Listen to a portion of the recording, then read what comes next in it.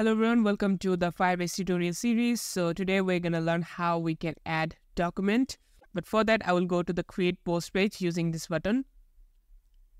And now I have three input, one for title, content, and text for comma separated values.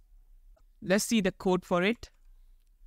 So if I go to the app, then the create post directory and then page.jsx now let me quickly explain the app directory structure.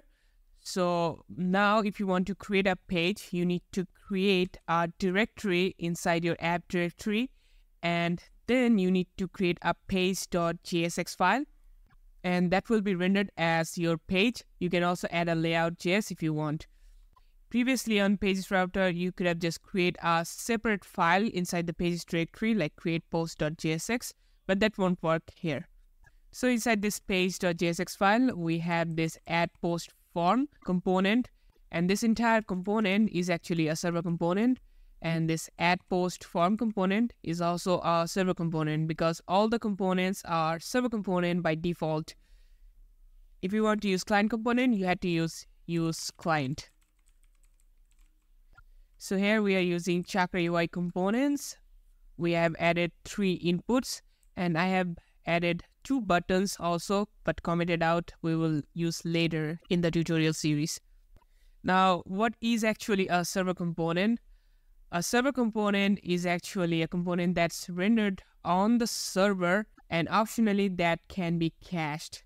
And in server component, you just only send the HTML or the UI to the client, but not the JavaScript. So your components won't be interactive. However, you can use some basic interaction like, like typing inside the input, clicking on a link and so on. And on the other hand, client components that can be rendered on the client or can be rendered on the server.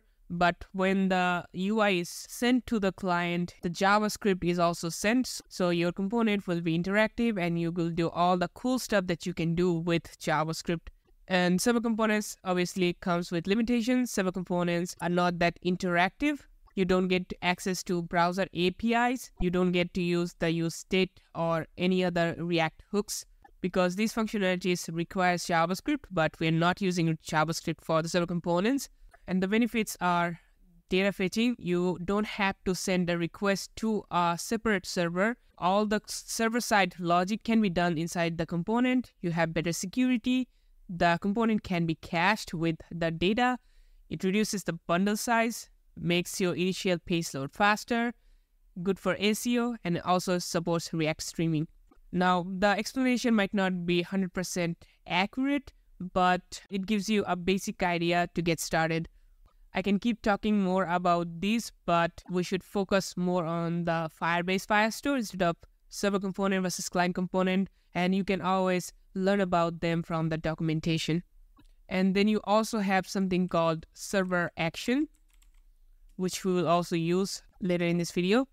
So a server action is basically some asynchronous actions that can be executed on the server, like adding data or removing data to the database instead of manually sending that data from client to the server and server does all those stuff. You can use this with server components and also you can use it client components. This is very useful for form submission. However, this can be also done with event listeners. So we have this form and this submit button should trigger a server action which will add a new document to our database. For that, you need to create a server action since this is a server component, we cannot declare the server action function inside our component. We need to declare the function in a totally separate file.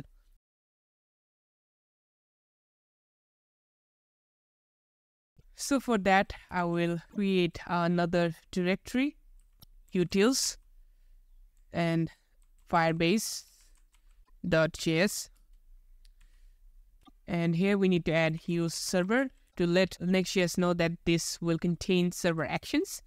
So I will create a function const add post.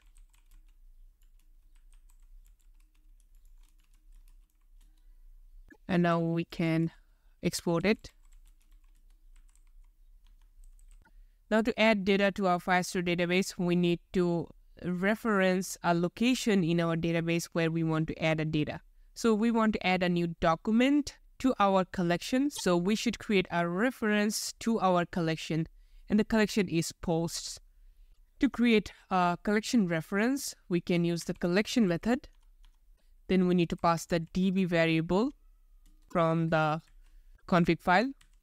And then we need to specify the path to our collection and the path is just post. So we can store that in a variable.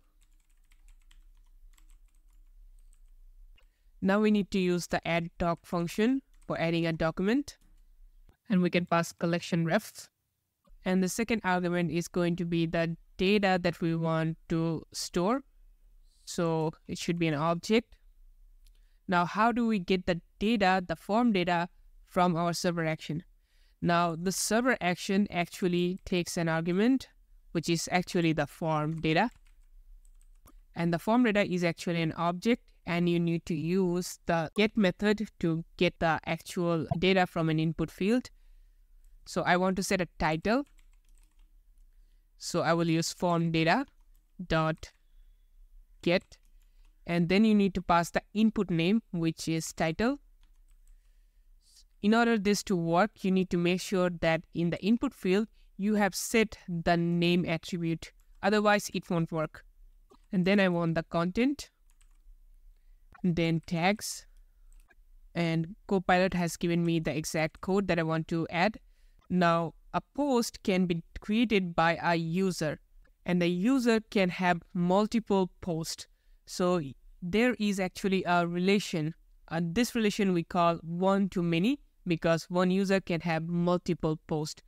To have this relation, we need to set a user so that we can know that which post is created by which user. So I can add a user, but we're not going to store any kind of string number or an array or an object. We're going to store a reference. Say if I show you the console, if I try to add a field, the data types that we can pass are these, and we also have a reference. And this reference is actually our document path it can live anywhere inside the collections. So the document path would be something like users slash then this, and then we can add it. Now to create a reference to a document, we need to use the doc function. First, we need to pass the db and then the path. So the path will be posts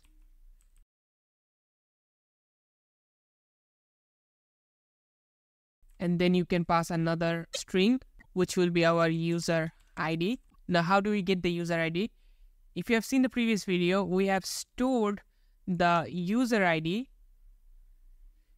to our cookies. I can show you again. So this is the user ID that we stored in the cookies. So to get the cookie value, we need to use the cookie function. So const user ID. And we can use the cookies function and we need to chain the get method. And you need to pass the cookie name user id and one more thing in firebase when you need to pass some kind of path like a path to a collection or path to a document you have two options you can add it like this where you have passed multiple string as arguments or you can also do something like this. So post slash then the user ID. So that will also work. You can use multiple arguments or you can use a single string with slash. But I'm going to use this format. And this will give us a document reference, which is our user ref. And now we can directly pass to this user field. So our add post server action is done we can go to the form. Here we need to pass an action attribute. Instead of on submit handler, you need to pass that to the action prop. So action is going to be add post.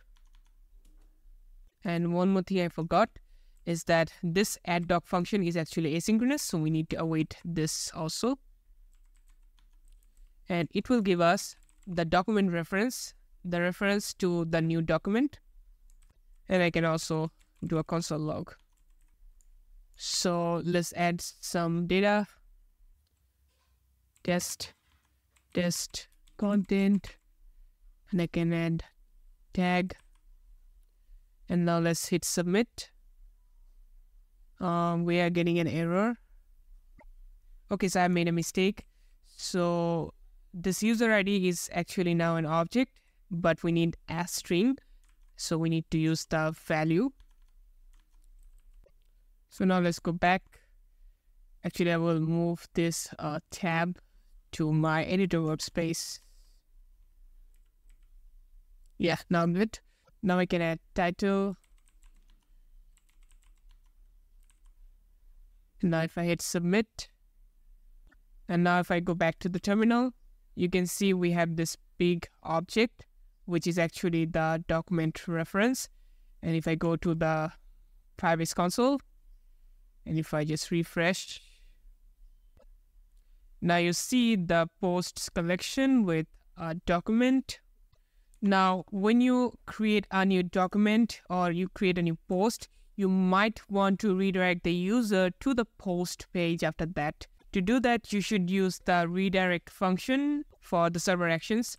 So I will remove the console log and then redirect. And it should come from next slash navigation. And the route should be uh, not post. It should be post slash docref.id. So this document reference also has an ID, which is the document ID.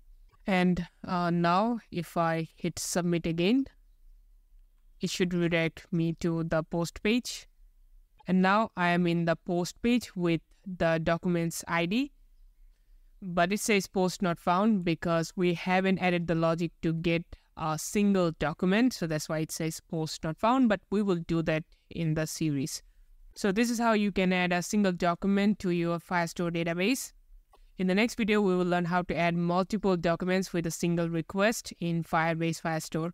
So that's it for today. I'll see you in the next one. Goodbye. Thank you.